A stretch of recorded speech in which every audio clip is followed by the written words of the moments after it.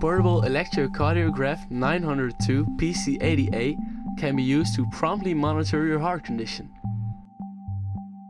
It is small, light and has three integrated metal electrodes.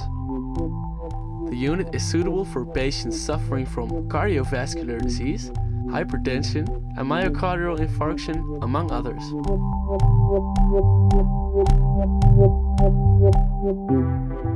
The ECG waveform is shown clearly on the screen, in addition to providing information after a measurement.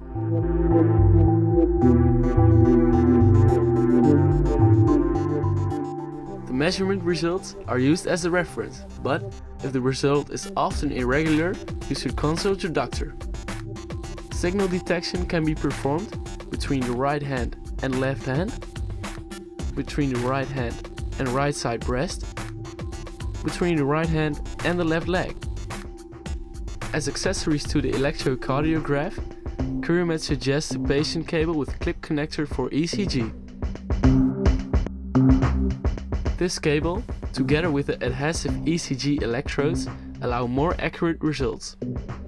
Finally, the electrocardiograph has 24 records that can be stored, reviewed and sent to the PC through a serial port and with the help of a software. Portable electrocardiograph 902 PC80A from Quirumed. Quality and trust.